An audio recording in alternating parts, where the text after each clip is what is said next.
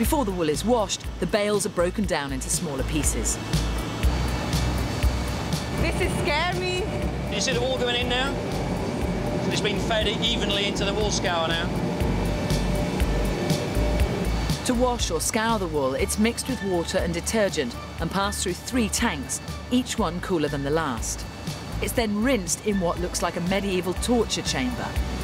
Look at that machinery. So the majority of the wool grease is washed out in the first bowl. All right, the first bowl is the hottest bowl, and we wash about 80% of the wool grease will be washed out there. And that's where we'll extract that water from because it's, it's concentrated wool grease there. While the clean wool goes off to be dried, the grease-rich liquid from the first tank is pumped into a series of centrifuges. These spin it at high speeds to separate the grease from the water and any dirt. These are the centrifuges, and we're producing what we know as anhydrous wool grease. Yeah, you can see how clear it is now. It's drying already, yeah? Yeah. Oh, that's really sticky. Yeah. That's like earwax. Yeah. Well, it is, as we said earlier, it officially is a wax.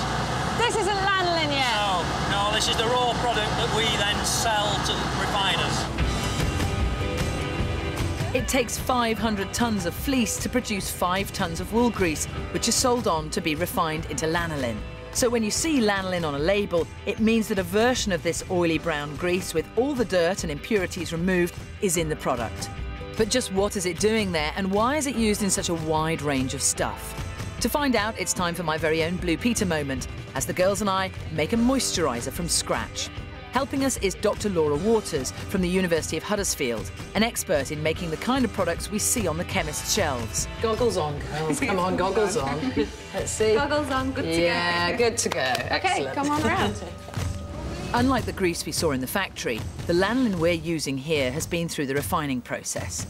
I'm keen to know what makes it such a desirable ingredient in our cosmetics. What's so special about lanolin is the way it can take up the water.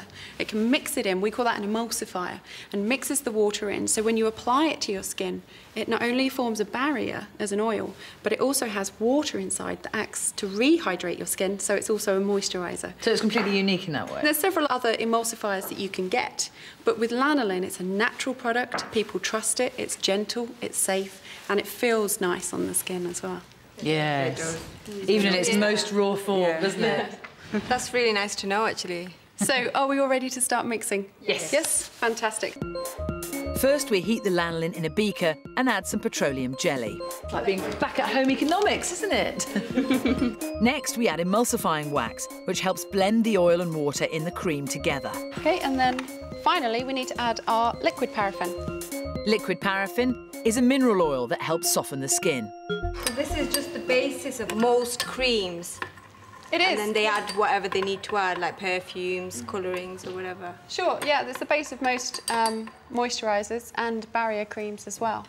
Once the lanolin mixture has melted, it's time for the most critical part, stirring. Stir. Yep. Pour your water in. Oh, it's already got thicker. I can feel it. The texture just changes instantly, doesn't it?